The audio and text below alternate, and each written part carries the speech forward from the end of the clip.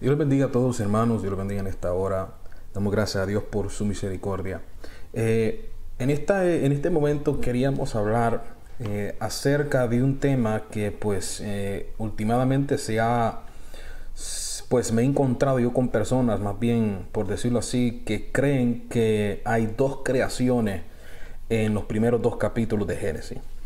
No solo creen eso, sino que también creen que Jehová es un Dios falso y, me he encontrado con estas personas, incluso yo iba a tener un, diálogo o un debate con, uno de ellos, este, uno de los que creen esto, eh, que claro es herejía, claro que sí es herejía, eh, el jueves pasado, pero eh, una, hubo una complicación y no se pudo dar, no de parte mía.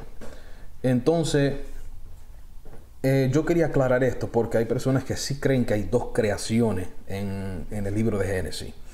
Eh, incluso yo escuchaba a un pastor, entre comillas, eh, llamado José, no voy a decir su apellido, pero se llama José, su primer nombre, donde él dice que Dios hizo la primera creación los gentiles en el capítulo 1 y después en el capítulo 2 hizo Adán y Eva, los judíos, ¿verdad?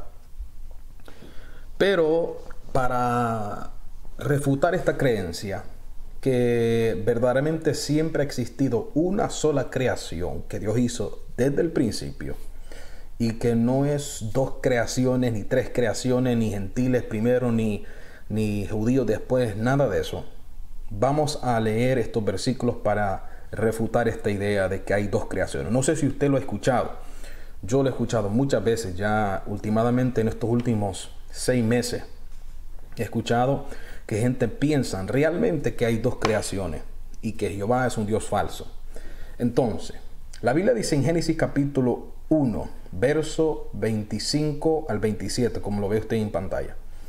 Dice la Biblia que Dios hizo los animales según su género. Hizo todo animal que se arrastra sobre la tierra según su género. Hizo todos estos animales, los peces del mar, las aves del cielo, según su género y según su especie.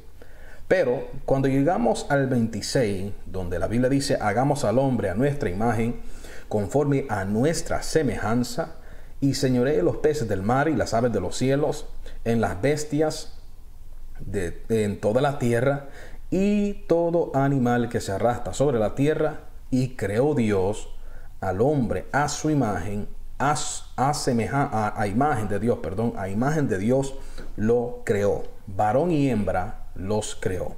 Ahora, ellos toman estos textos, especialmente el 27, para decir que Dios creó la primera creación, los gentiles, en el capítulo 1 de Génesis, porque dice que varón y hembra los creó. Entonces ellos agarran esto para decir que había una primera creación. Esta es la primera creación. Que Adán fue creado o fue formado después por un falso Dios. Aquí ellos dicen que el Dios verdadero creó al hombre y la mujer, varón y hembra, los creó a imagen de Dios y después el falso Jehová, dicen ellos, vino y formó al hombre en el capítulo 2. Pero, como le digo, vamos a refutar esto. En primer lugar hay que entender que en el capítulo 1 es un resumen de lo que pasa o lo que sucede con el hombre. La creación del hombre es un resumen porque verdaderamente fue Dios el que creó varón y hembra.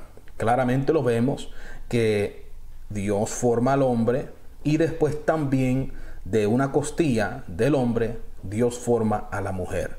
O sea que esto es completamente correcto, que varón y hembra los creó porque fue Dios el que creó varón y hembra. Ahora, el problema y la, cuestión de todo esto es que hay personas que creen que en el primer capítulo es una creación y en el segundo capítulo es otra creación.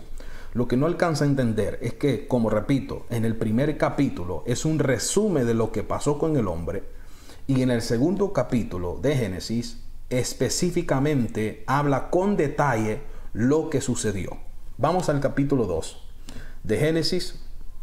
Vamos a leer lo que está ahí subrayado.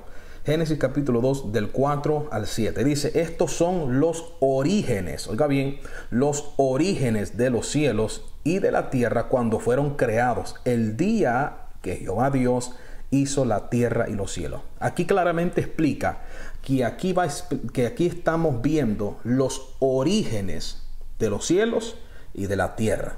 O sea que no es una segunda creación, no es otra creación, sino que está especificando lo que sucedió con el hombre desde los orígenes de los cielos y la tierra. Dice la Biblia, estos son los orígenes de los cielos y de la tierra cuando fueron creados el día que Jehová Dios hizo la tierra y los cielos.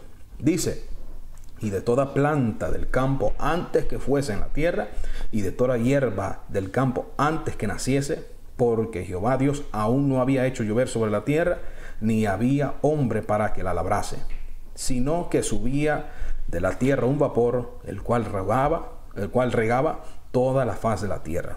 Entonces Jehová Dios formó el, al hombre del polvo de la tierra y sopló en su nariz aliento de vida y fue el hombre un ser viviente. Gloria sea el nombre del Señor.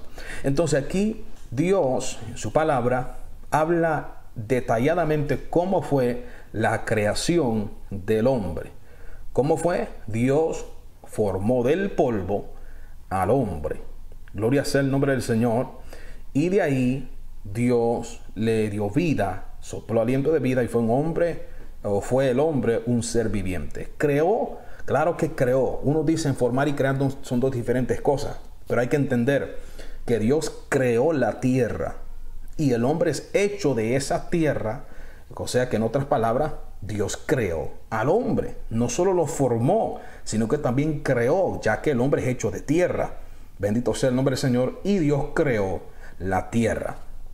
Alabado sea el nombre de Dios. Amén. Entonces no son dos creaciones, es una creación, ya que en el versículo 2 vemos, la Biblia especifica que estos son los orígenes de los cielos y de la tierra. Pero vamos a seguir, porque quizás para muchos esto no convence.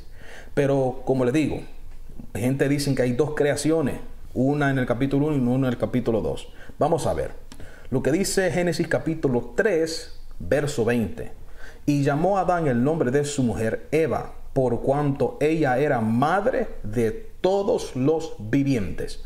Si hay dos creaciones, si hay dos creaciones, entonces este texto no vale, porque la Biblia dice que Eva era madre de todos los vivientes, madre de todos los vivientes. Todos es todos. Todos no quiere decir una parte, todos no quiere decir la mitad de la creación, todos no quiere decir una parte de la creación, todos significa todos. O sea, que en otras palabras, Dios, la primera creación que Dios creó del hombre, era Adán y Eva. Varón y hembra los creó. Varón y hembra los creó. Adán y Eva. Eva siendo la madre de todos los vivientes. Alabado sea el nombre del Señor. Vamos a 1 Corintios 15, 45. Así también escrito está. Fue hecho el primer hombre, oígame bien, el primer hombre, Adán, alma viviente. ¿Quién fue el primero? Adán. O sea que no existe una primera creación antes de Adán. Adán fue el primer hombre viviente. El primero, el primero. Alabado sea el nombre del Señor.